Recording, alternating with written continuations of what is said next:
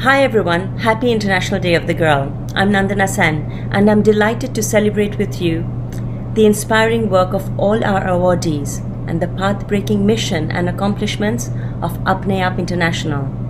I'm deeply honored to introduce to you the winner of the last Girl Champion Award, Floyd Cardoz, who exemplifies the extraordinary achievements, determination, and largesse of the pioneers and leaders we are applauding today.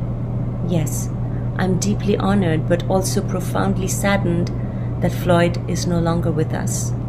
That this huge talent, matched only by his equally huge heart, was snatched from us last year by COVID 19. Born in Mumbai and named one of the 50 most influential global Indians by GQ magazine, Floyd was a beloved chef, author, and philanthropist.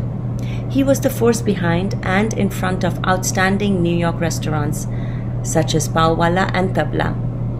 When he won Top Chef Masters in season 3, Floyd donated the entire prize money to charity to fund the Young Scientist Foundation, which is now overseen by his wife Barkha.